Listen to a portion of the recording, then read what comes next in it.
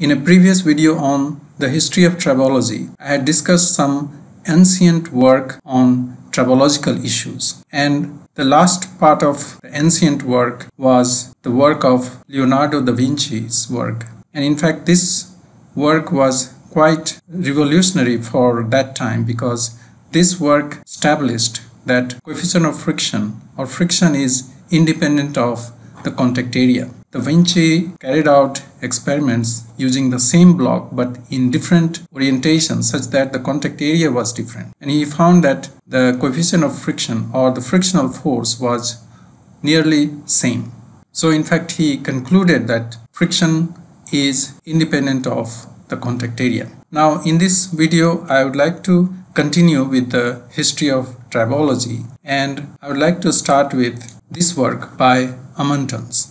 So in this video I will review work starting from 1699 until 1950. So these works can be considered as classical work on tribology, the, the works which actually established tribology as a science and technology of interacting surfaces. Even though Da Vinci had established the relation between friction and the normal load, but his work remained unknown to people because the sketches that he left behind were not found until quite recently. And also the studies were all represented by sketches rather than a proper scientific write-up or scientific paper. So the very first person who actually did very systematic study of friction was Amontons. And that's why the two of the laws of friction are known as Amonton's law after his name. So it was in 1699 that Amundton produced these friction laws. These are known as two friction laws. The first law of friction says that friction force is proportional to the normal load and the second law says that friction is independent of the apparent contact area. So these two laws are attributed to Amontons because he actually he was the first person to study this in a systematic way. After 1699, in 1725, J.T. Desaguliers he conducted some experiments on cohesion of lead and he found that that the adhesion force was quite substantial. Therefore, he also suggested that adhesion might be relevant for friction. So this work is also important in tribology because this was the first time that somebody indicated that adhesion has some contribution to friction. So far until then, adhesion was not considered as cause of friction, but later more recent studies have clearly indicated that adhesion plays a very substantial role in friction. So therefore we can consider Desaguliers' work as an important milestone in tribological research. Euler actually was the first person who provided some mathematical relation for the coefficient of friction. Friction coefficient was equal to the tangent of the angle alpha of inclination when a solid is slid on an inclined plane. So Euler conducted the test of sliding a solid block on an inclined plane and found that mu, which is the coefficient of friction, is equal to tan alpha, where alpha is the inclination of the inclined plane. So this was the first time that friction was given a mathematical treatment.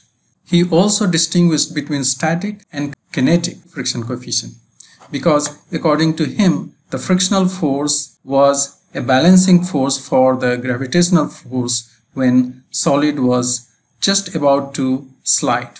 But in reality, we find that the solid actually accelerates. So if the forces, the friction force and the gravitational force balance with each other, then there is no need for the solid to accelerate as it starts. To solve this problem, he proposed that static coefficient of friction is different from kinetic. And actually he said that static coefficient of friction is larger than the kinetic coefficient of friction and therefore he was the first person to distinguish between static and kinetic coefficient of friction. in 1785, Coulomb gave another law, which is now known as third law of friction. He proposed that the friction is a result of interlocking asperities. It is also known as cobblestone model. That means when two surfaces are sliding against each other, the asperities will interlock and they will interact with each other elastically. And this produces coefficient of friction. So according to this model or this law, friction is independent of sliding speed. So this is known as the third law of friction or also Coulomb's law. Now, so far people had studied friction in dry contacts. In 1847 to 49, Hirn conducted several experiments on sliding between two surfaces with lubricated with a lubrication in between. And he established that viscosity played an important role in lubricated sliding. So now sliding between two solid surfaces was no more only the interaction of the dry surfaces, but viscosity of the lubricant that was present in between played a very important role. He established a linear relation for friction between a journal and a bearing and the speed. Also, he established that distilled mineral oil could work as an excellent lubricant and also that air could be used as a lubricant. This was the time when oil was still being found and mineral oil was not used as a lubricant. So we can consider Hirn as the first person to demonstrate that mineral oil could be used as an excellent lubricant as well as air could be used as a lubricant. So today we used gas bearing. So those are the bearings lubricated by air. Now we come to 1881. Hertz actually gave a very very important relation.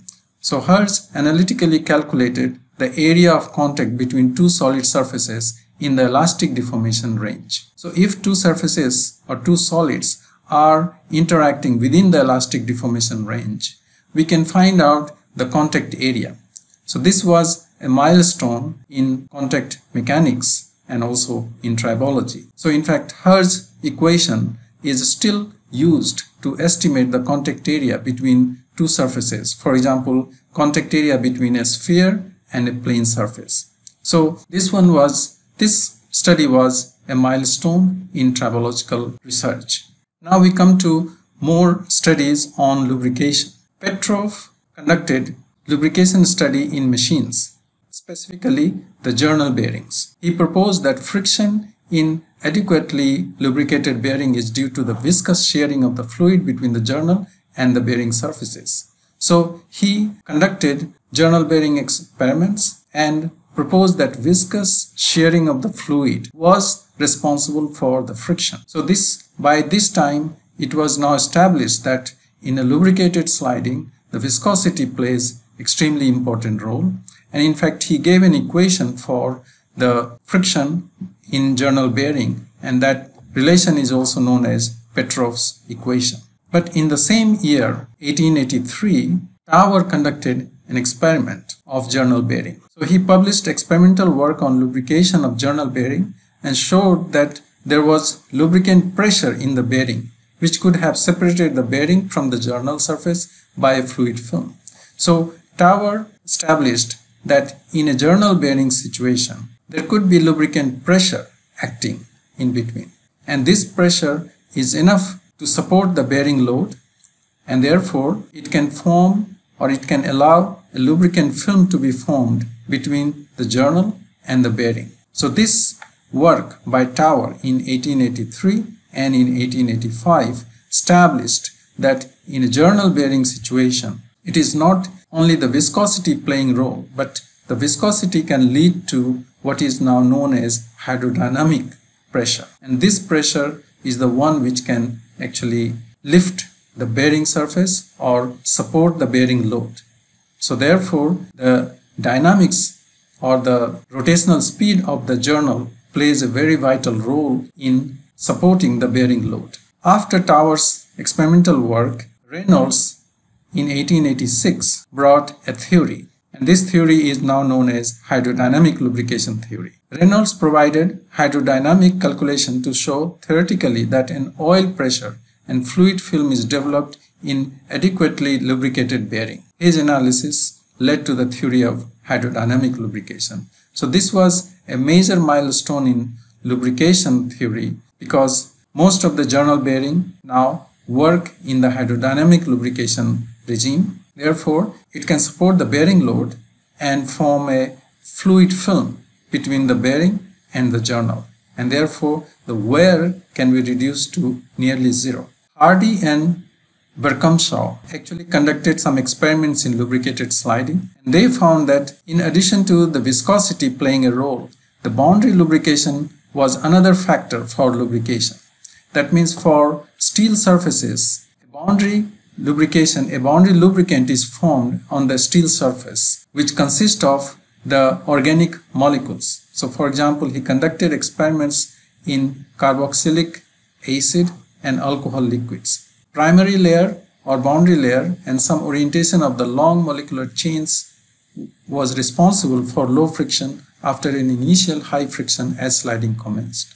So that means these molecular chains or long molecules have affinity to bond with the steel surface and therefore form a primary layer or boundary layer. So this work was the, the very first work in which the boundary layer lubrication was recognized. Now in the dry sliding case, Prandtl and Tomlinson, they independently were working and they independently proposed that two surfaces can undergo sliding without wear.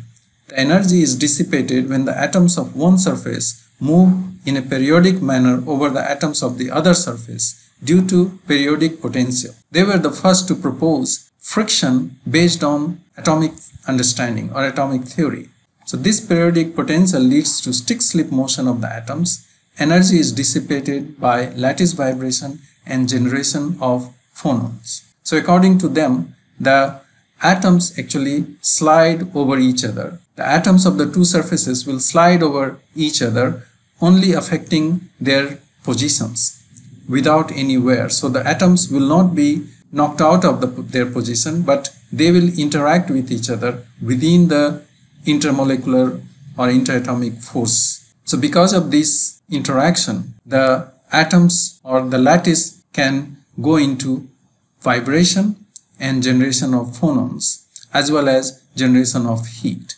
So these are the methods by which the energy is dissipated and this is the energy that we measure as friction. So this theory was the very first in which friction was explained based on atomic theory.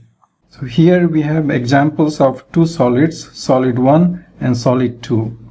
These solids will come in close proximity during sliding.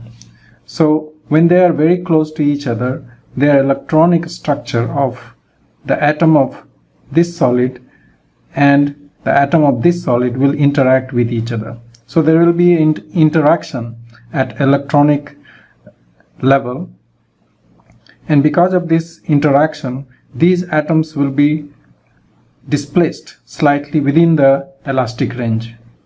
So because of this displacement there will be vibration. So these atoms will vibrate periodically within the elastic range. So without leaving the solid these atoms will vibrate about their position. This periodic vibration within the elastic range is known as phonon. So because of this phonon, sound wave and heat will be produced and this will be the work of friction. So basically friction frictional work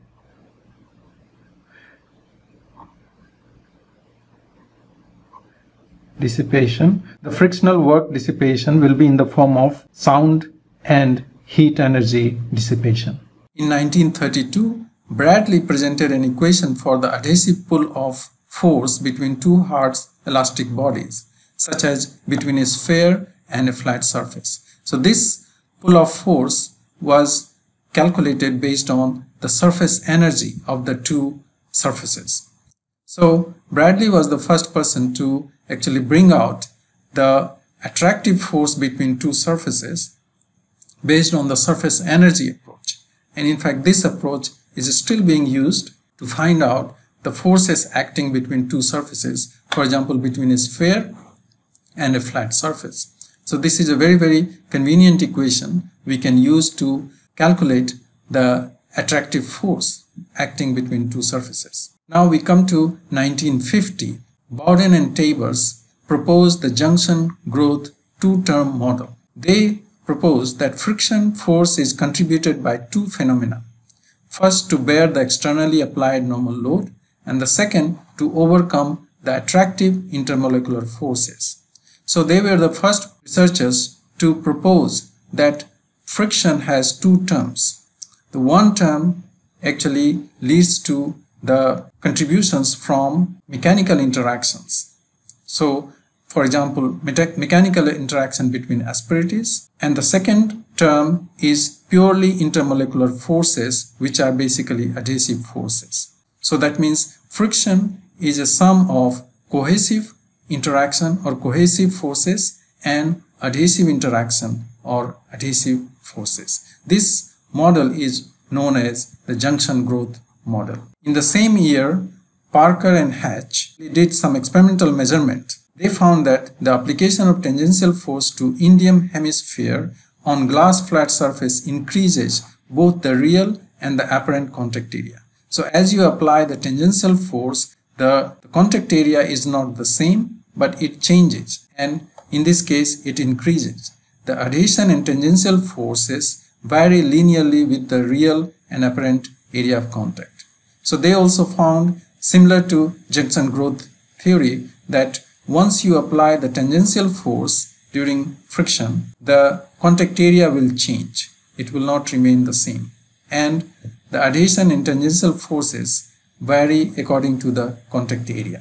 McFarlane and Tabor also conducted some experiments and proposed that both normal and tangential forces play part in the junction growth for metallic contact. So when there are two surfaces, two metallic surfaces in contact, the junction or the real context, the actual context will change when we apply normal and tangential forces. The real contact area grows under tangential force as a result of cold welding. So they suggested that between metals, it is possible that they can cold weld and therefore the junction or the contact area, real contact area will grow because of the tangential force. Friction and adhesion are related and they propose the relationship by analytical method. So as we found that contribution of adhesion to friction was recognized long back but only in 1950 that we have a clear understanding of what is friction. So by 1950 we have understood that friction is combination of two types of work. One is the cohesive work that is done for the interaction of the asperities and the second one is for the adhesive work that is carried out for to overcome the intermolecular forces acting between the two surfaces. So until 1950, I consider that these are all the classical work on friction and lubrication. So these classical works actually helped us to understand friction and lubrication and they these works remain true and more recently we are able to actually prove these many of these findings through our better experimental techniques.